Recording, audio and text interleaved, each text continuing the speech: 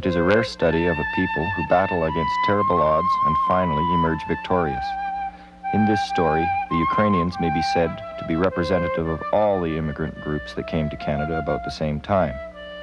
It is a genuinely Canadian epic because what it contains is part of Canadian history, which is not written with letters of blood in the fields of battle, but rather where man struggles for the sustenance of God's creatures and where the only thing tamed and laid low is the rigidity of nature and its laws. There too are heroes, but they are the unsung ones, the unproclaimed ones, whose only monument is the memory of them, and their superhuman labor that remains in the minds of grateful and respectful generations that follow.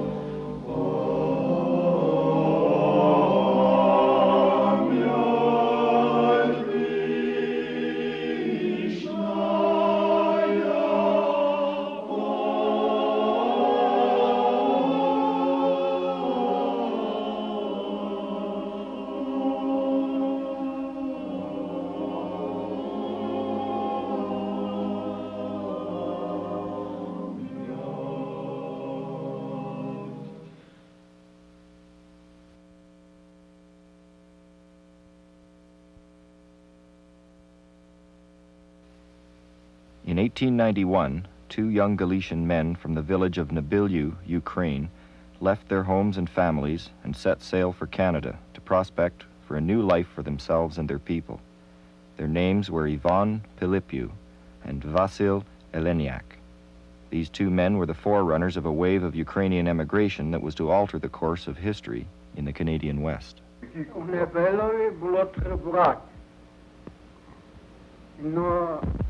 І одна сестра, то четверо нас було, Боже Небесний. Ну, не можна говорити. А не було нічого.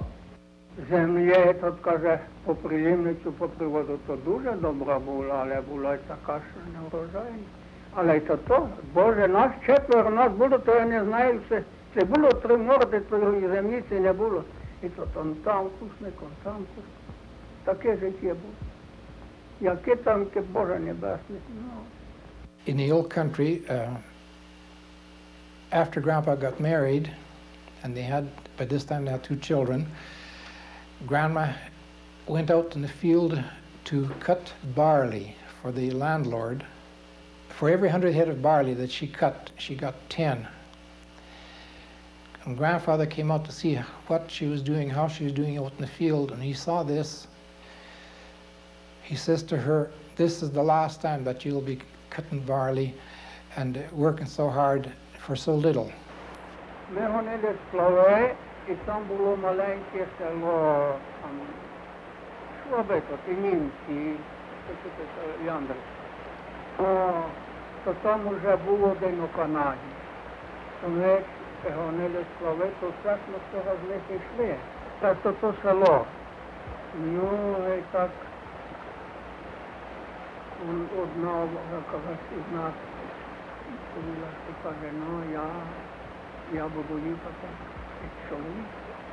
He heard from the Germans, or learned from the Germans, that the land was available in Canada for next to nothing, and he would be able to get free uh, roughly 113 morgs, which is 160 acres.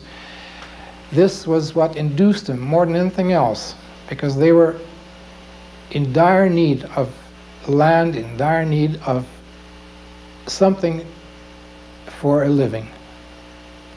Ivan Pilipiu uh, lived in the in the village of Nebeliu, uh, which was under the um, uh, Austro-Hungarian Empire, and uh, they were a minority people within the Austro-Hungarian Empire, and they they were subject to economic, political, uh, social, and religious repression. And uh, they could only have so much land because Galicia was um, overpopulated. And so um, uh, Ivan Pilipo began to think of, uh, of another country and so on, and he had heard of uh, John Krebs, or he knew of him, and he knew that he was in Canada. So he wrote him um, a letter, and uh, in six months, apparently, he got a reply back saying that there was land available in Canada and told uh, Ivan Pilipo to come out. My granddad, he applies to get to Canada. Well, it was America, as they called it. He couldn't get it on Pelepiu, so he says Pelepiuski. That's a Polish name. And same with Eleniak. It wasn't Eleniak, it was Iliak. That's a Polish name. That's how he got across.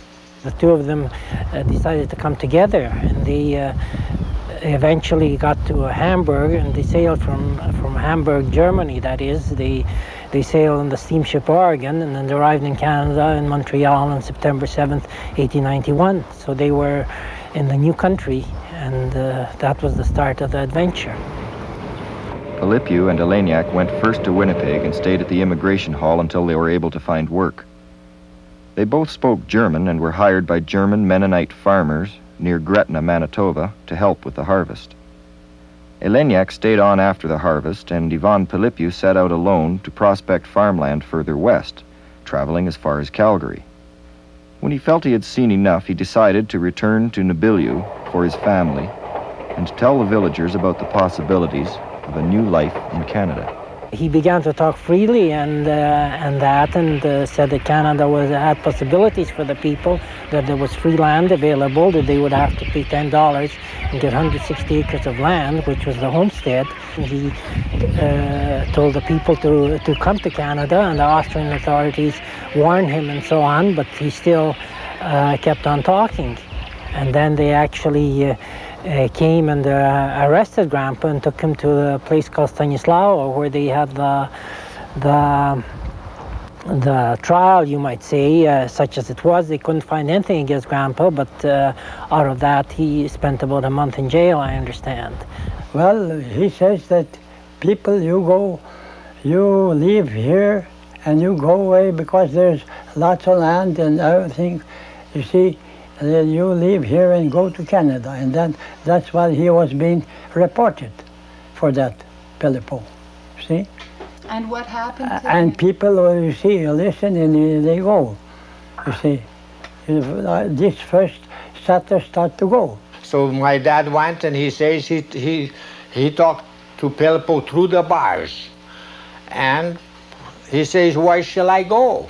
I want to go to Canada. Where, where shall I go? He's, he says you go Egmonton. That's he mentioned that was Edmonton. He says Egmonton. So my dad filed up the ticket to Egmonton. Ivan Pilipiu's description of Canada influenced a number of his fellow villagers. The promise of Vilni Zemli, free land and hope for a better life, gave them the courage to leave. My dad was a shepherd shepherd in Carpathian Mountain, and they all used to play flute there. And this is the, the song that he played.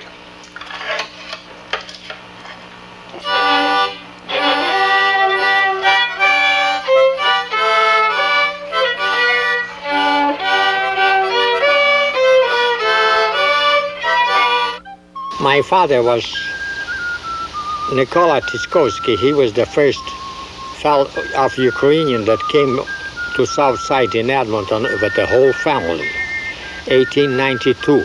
Imagine them going not knowing where to go from old country, and my mom, she had her, she had a sister and her mom down there, and when she left her, she knew she, that she's not going to come back again, and, and but she had to go.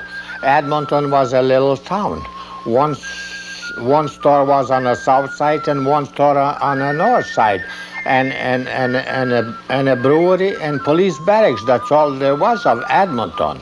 And they had, there was no bridge. They had to go through the ferry across the river. So my father, he was, he couldn't read or write. And he couldn't speak English, nor only one language, Ukrainian. So he came down here whatever they told him his name, he would say the name, and and nobody could uh, uh, repeat that name the same way. The name Tychkovsky. So whatever they wrote him, he took the name. The family was uh, Anna was the oldest, and then there was Mary, and then and then there was George, John, and Bill. Bill was three years old when he came to Canada And then Mike was born here. He was the first Ukrainian boy that was born in Alberta. I, Peter, was born in a potato patch. My mama was hoeing the potatoes. And she had me there, and she brought me into the house, and she tied up the cord and made and bat me and put me in a crib. And when that came from the field that he was working, she says to my dad, she says, go and take a look, you got another farmer. Nikola Tychkovsky filed a homestead near what is now Scotford, Alberta in 1892 and lived for two years with his wife and five children in an old trapper's dugout. In 1894, when the first group of Nabilou families arrived and filed adjacent homesteads in the Edna area, about 64 kilometers east of Edmonton, Tychkovsky canceled his Scotford homestead and moved to Edna to be with his people. The Edna settlement, founded by this small group of Galician immigrants from Nabilou, became the core of the first and eventually largest settlement of Ukrainian pioneers in Canada.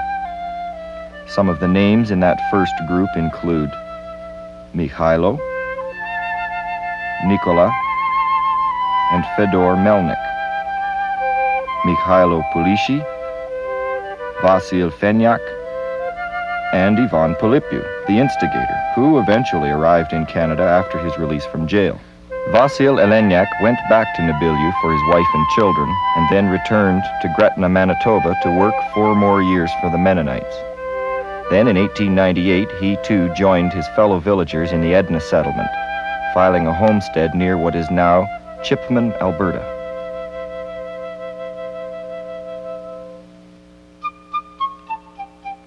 Beginning of mass emigration to Canada in 1896 can be largely attributed to the influence of Dr. Joseph Oleskiw, a professor of agriculture in Galicia. He was deeply concerned about the plight of Ukrainian peasants, as many were being enticed by ruthless travel agents to go to Brazil and Argentina to work on plantations like slaves. He corresponded with immigration authorities in Canada to promote immigration and he made a trip to Canada to investigate conditions, visiting many of the Ukrainian homesteaders in the Edna Star settlement. Oleskiw wrote about his trip in a pamphlet entitled O Emigrazi, about emigration.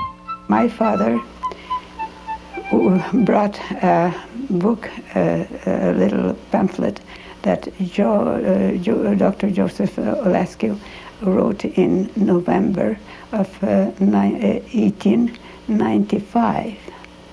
So he was very much interested in, in that book, and especially in the uh, in the free land.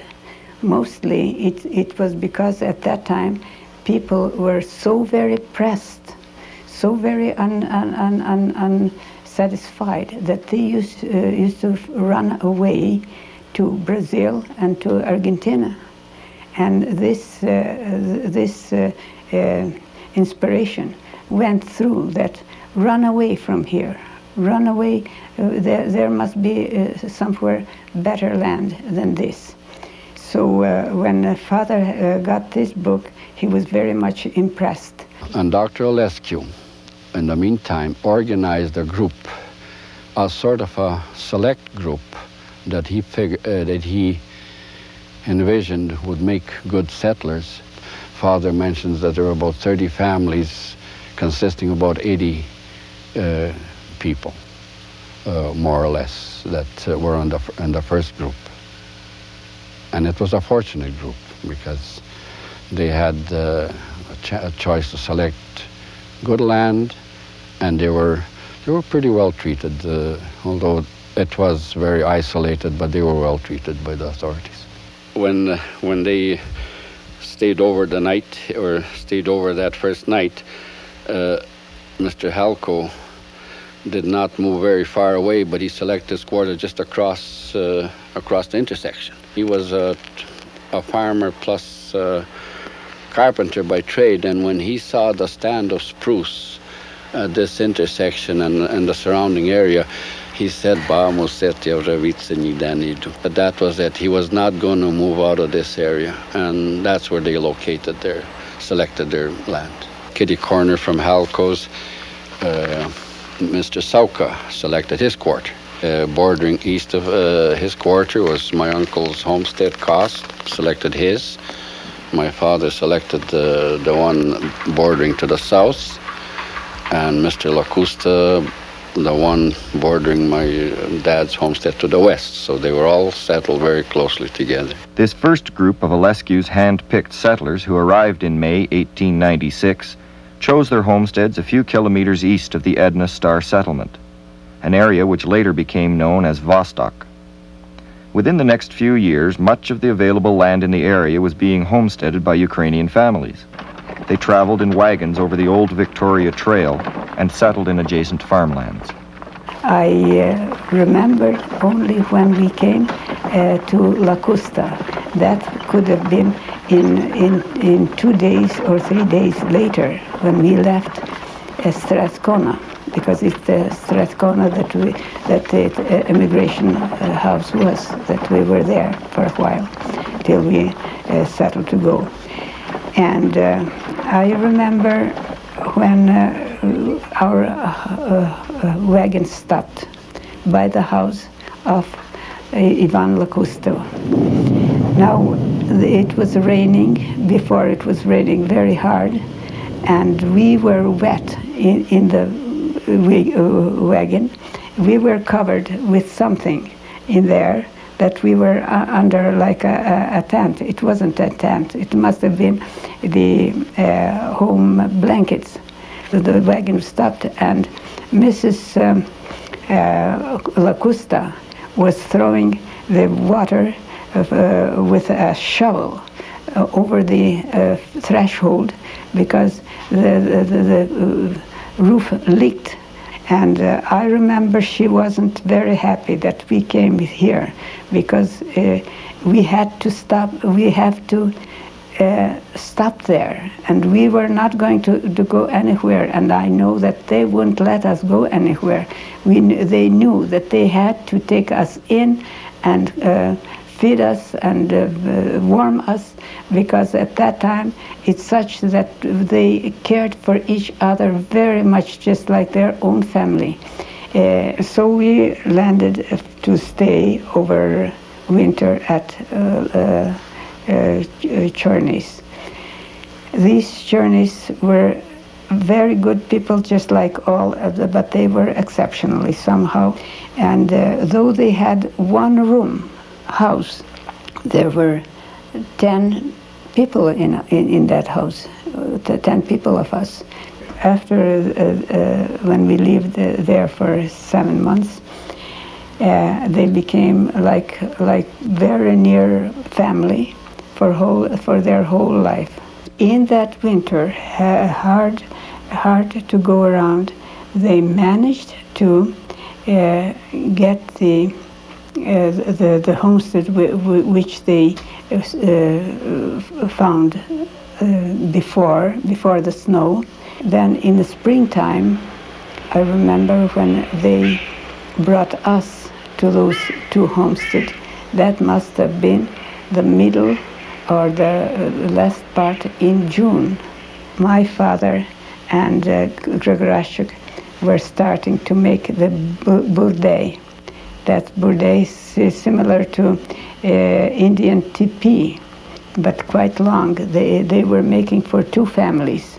And uh, they had it finished in one day, uh, two men and, uh, and one woman and uh, my, my brother Alec and John. But uh, the very unforgettable thing is that we had very many mosquitoes. Mosquitoes were such that it was hard to, to live with. How long we lived, not very long, because after they built that, both of the men started to make their own houses on, on each uh, uh, homestead, which was very, uh, very near, in very uh, close uh, neighborhood. By winter, they had their whole houses. The main food from the garden was potato, potatoes, always is needed with every meal. and uh, the uh, and the cabbage when the sauerkraut made into sauerkraut, mm-hmm. and and uh, of course the bread. The, the, the, the, the main thing was the flour to have a flour, and they were the two of them, the first uh, uh, two families that uh, left the village Tuluva. When they were going, the people around when they were bidding them farewell, they said to my father, You, uh, a, literate, you write us all the truth about Canada. We want to know. And they had a very big uh, uh, faith that father will do that. And father uh, felt very big uh, obligation to, to write them faithfully about Canada. So he did. I remembered when he was uh, settled in, in 1900, uh, he took uh, some of the soil in a little bag and wrote all about Canada, and with that soil he sent to, uh, to, to Tuluva. And I remembered with uh, the people from Old Country that uh, said what influence that, that letter made on, on them. So they began to arrive by the hundreds and thousands, lured by the prospect of free land and freedom from oppression. The Galicians, Bukovinians, Ruthenians, all eventually calling themselves Ukrainian. Some were financially prepared, others nearly destitute on arrival. Many went no further west than Winnipeg, but large numbers settled in east central Alberta among their countrymen, and in similar settlements in Saskatchewan and Manitoba.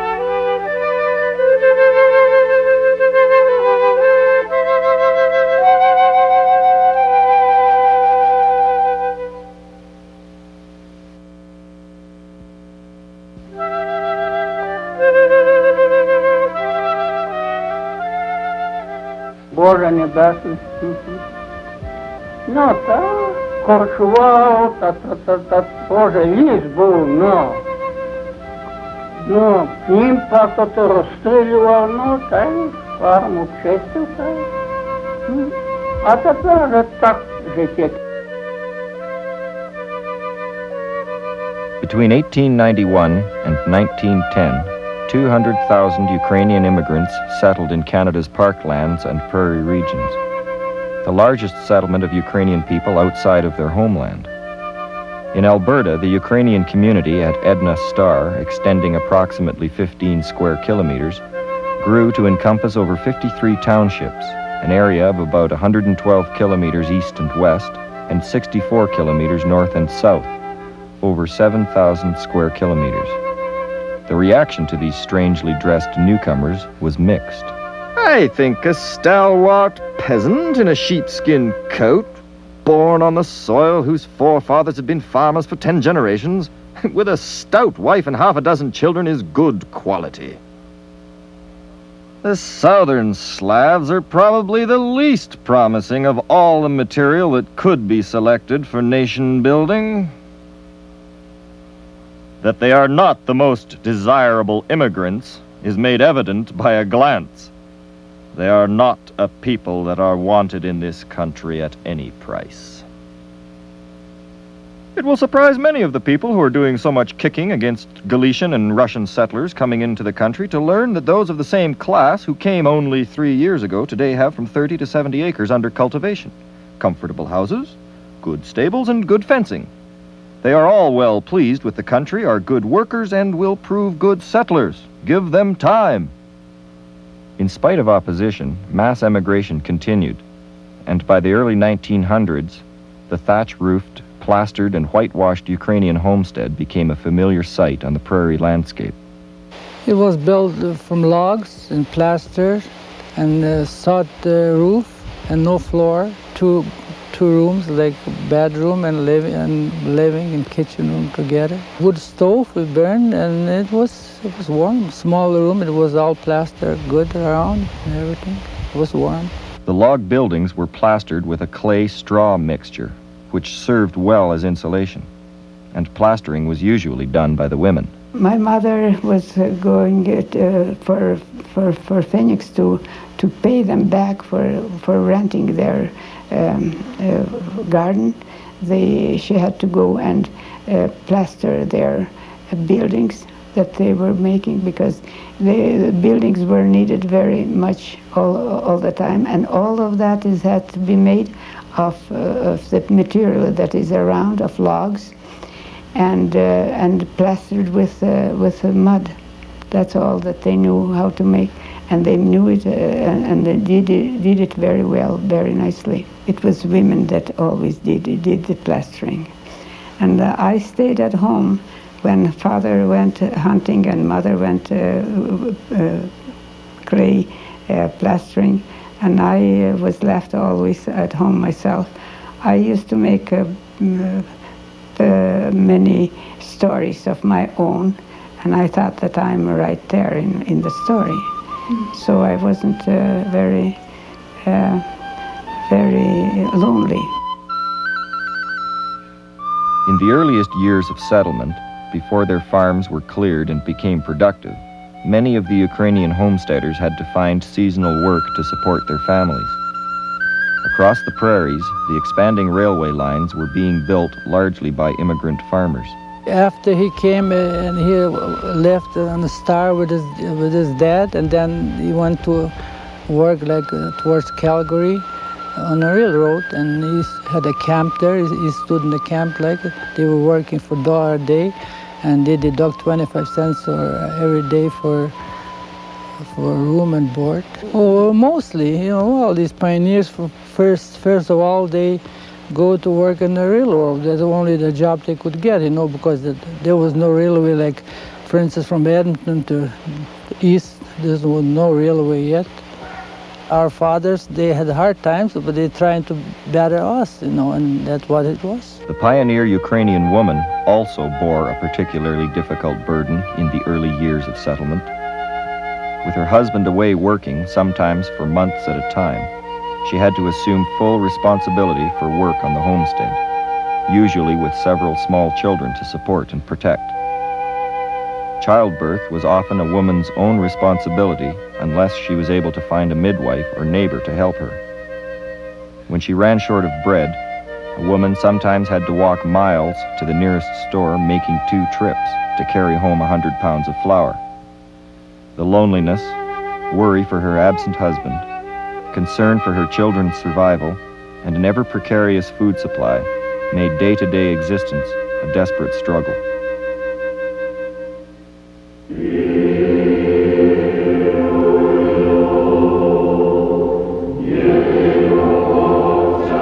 The harshness and isolation of the settlers' new life was made even more difficult without the spiritual nourishment that they had known in their homeland. They were a deeply religious people, and the traditions and customs that were part of their religious services were the foundations of their very existence. In the brutal conditions, infant mortality was high, and unbaptized children were buried with no religious ceremony in unmarked graves.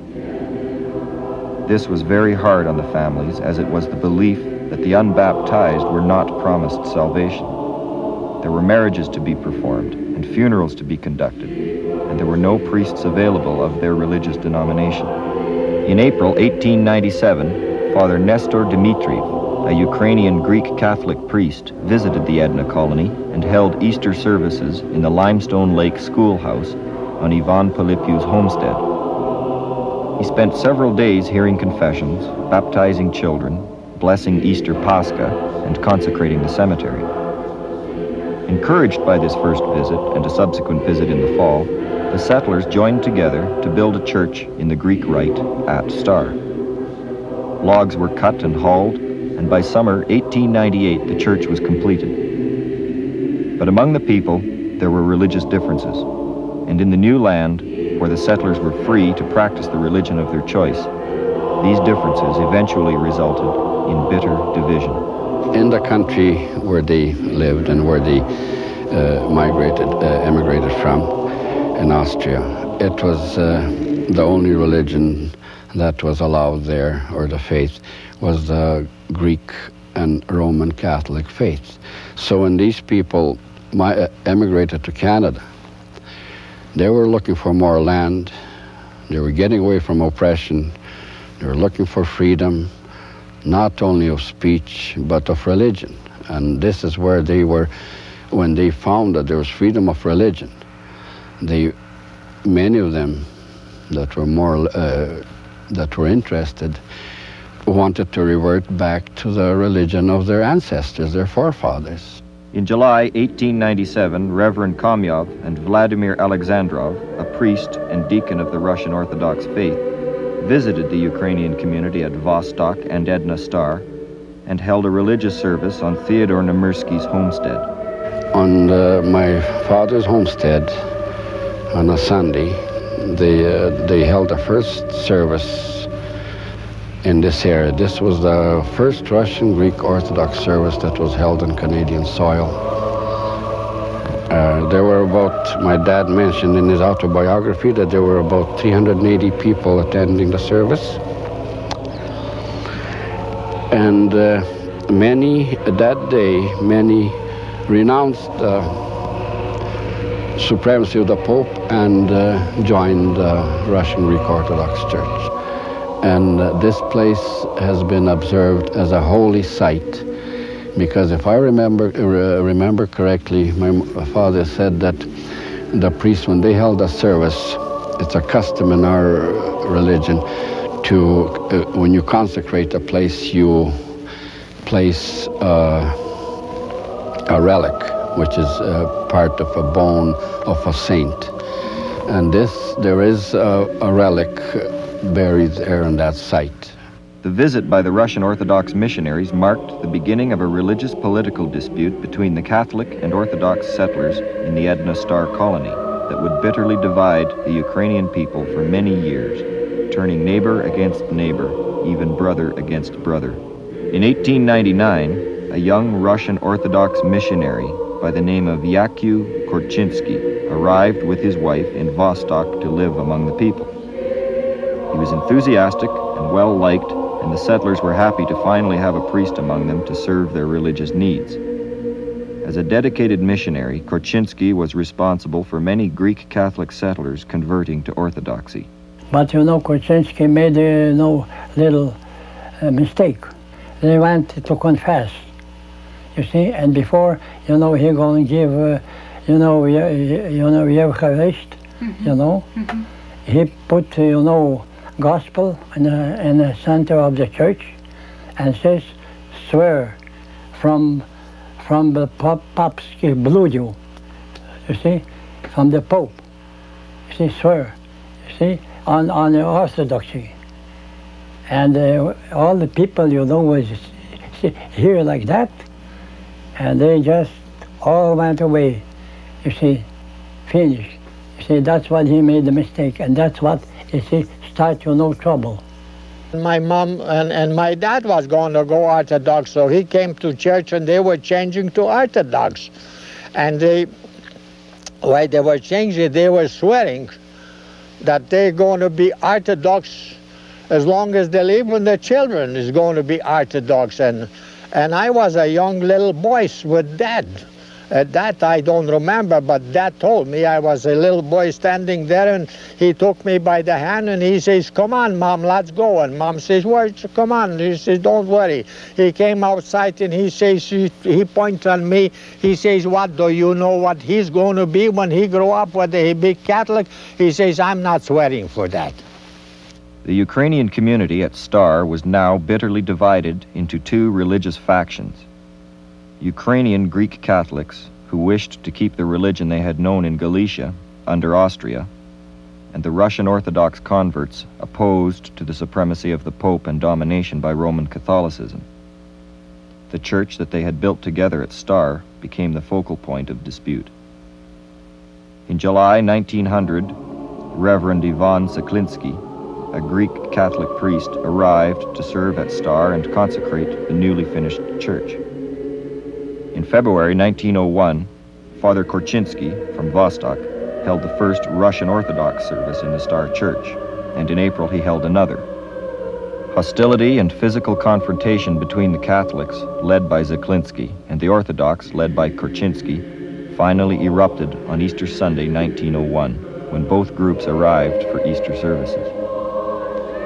Police were forced to lock the church doors, and for the next four years, the Star Church stood empty as a vicious and costly legal battle was waged through the courts and eventually to the Privy Council in London.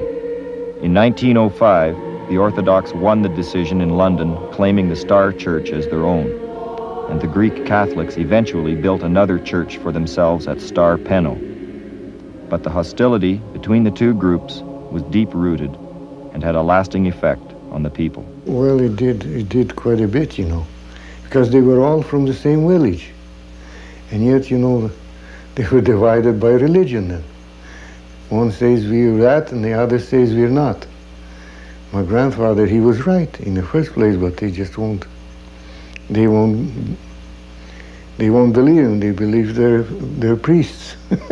well, what did your grandfather, what did your Well, he said we're all the same. I said, he told them. He says, out there we didn't know, but here we know who we are. Mm. You know?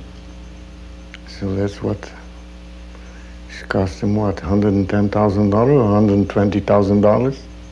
Those lost their life savings and everything that lost. So. Were the people then after that, uh, they had been friends before, neighbors before, yeah, afterwards? and re relatives too. they just went, you know, one against the other mm -hmm. on account of uh, on account of religion. Eventually, three distinct religious denominations were established in the Ukrainian settlements Ukrainian Greek Catholic, Russian Greek Orthodox, and Ukrainian Greek Orthodox. Even with their sometimes fierce desire to retain the religious and cultural heritage of their forefathers, the Ukrainians were also starting to identify themselves within the context of a new land. On September 1, 1905, Alberta, formerly a part of the Northwest Territories, became a province of Canada. To celebrate the occasion, Prime Minister Sir Wilfrid Laurier came to Edmonton to bestow his blessing and speak directly to immigrant settlers. I see everywhere hope. I see everywhere calm resolution, courage, enthusiasm to face all difficulties, to settle all problems. We do not anticipate and we do not want that any individuals should forget the land of their origin or their ancestors. Let them look to the past, but let them also look to the future. Let them look to the land of their ancestors, but let them also look to the land of their children.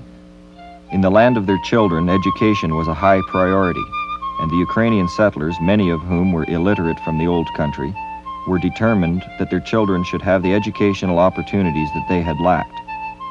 Often the older children did not go to school, either because there were no schools built or their help was needed in those desperate early years of homesteading. But the younger children were usually able to attend school for several years.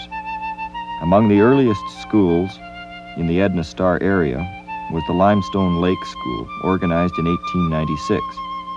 It was built on the southwest corner of Ivan Pilipiu's homestead. I remember yet when she was uh, uh, out of logs, but it was already had siding on it. But they had these country schools, three windows on one side, three windows on the other side. It was this way here, and that was it. A little porch where you shelves where you left your lunches, and stove belly stove, and that's it. Desks. And one room? Yeah, one room. After Alberta became a province in 1905, the number of schools in the Ukrainian settlements increased rapidly. By 1916, every immigrant child had the opportunity to attend public school, and over 60 schools were given names reminiscent of Ukraine. Bukovina, Vladimir, Luyu, Svoboda, Yaroslav, Prosvita, Kalush. But in spite of the names, English was the compulsory language in school, and the Ukrainian children had to learn quickly. And the students uh, had to speak English in the school. Uh, they were expected to, yes, but outside you would speak Ukrainian, Mhm. you know, and that. But in the school, well, certainly you uh, had to speak, expected to speak English. Some of them could uh, speak no English at all. They, all they knew was Ukrainian because Ukrainian was spoken at home. Like at our place, we always spoke Ukrainian. So I just uh, knew a few words of English when I started school. I just had to pick up the English.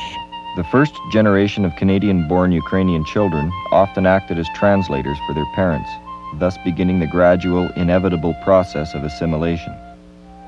The Ukrainian people were slowly becoming part of the Canadian cultural mosaic. But with the onset of World War I, as Canada went to war with Austria Hungary, the immigrants who had not acquired British subject status were labeled enemy aliens with questionable national loyalties. Some were placed in internment camps throughout the country until the end of the war. It would take many more years for the Ukrainians to be accepted by the English majority in Canada. In the winter of 1918, northern Alberta was struck suddenly and unexpectedly by a flu epidemic of often fatal proportions.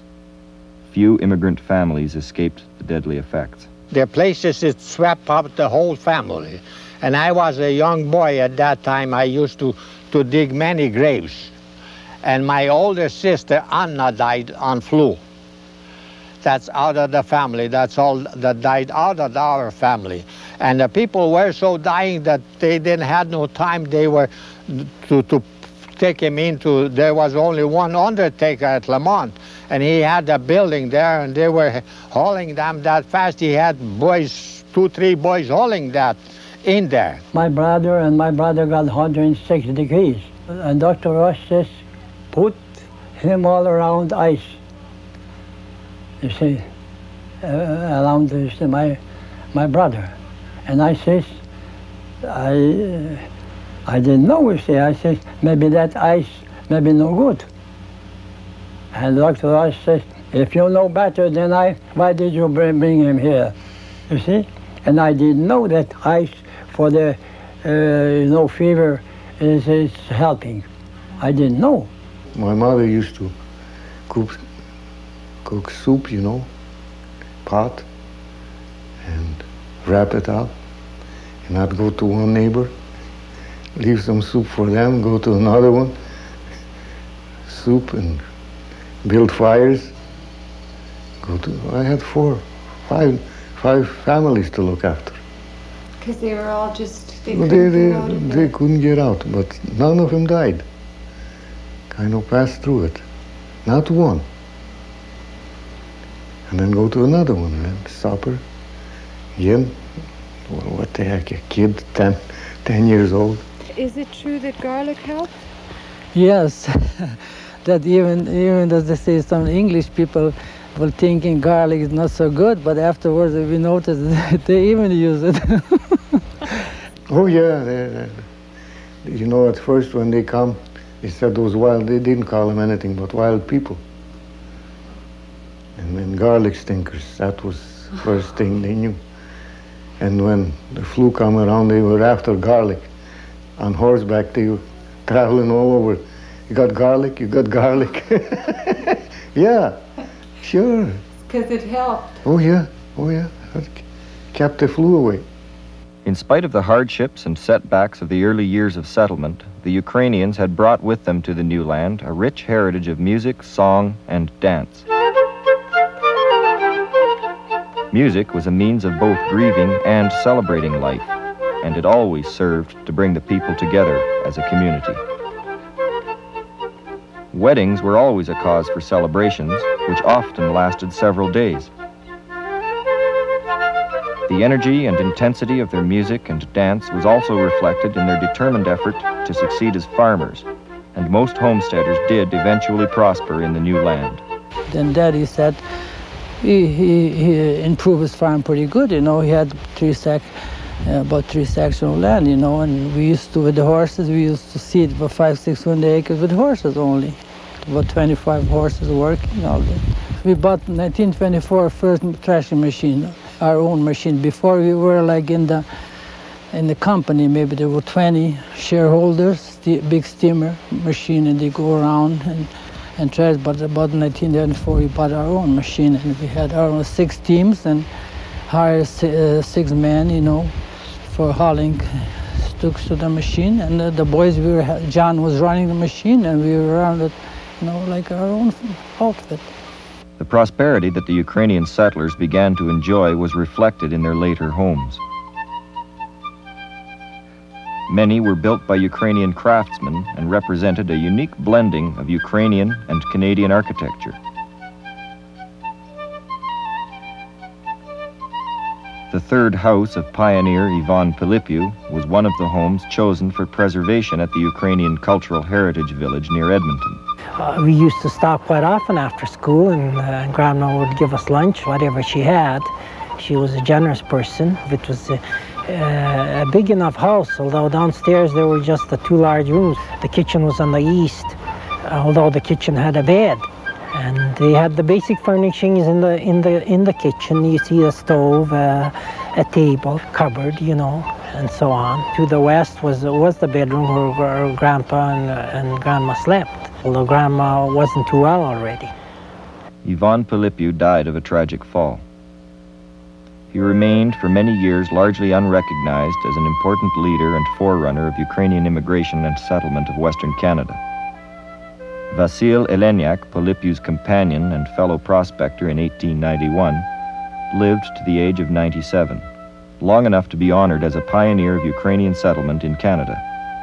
In January 1947, at the national citizenship ceremonies in Ottawa, Prime Minister Mackenzie King presented Vasil Eleniak with his Canadian citizenship as representative of Ukrainian Canadians.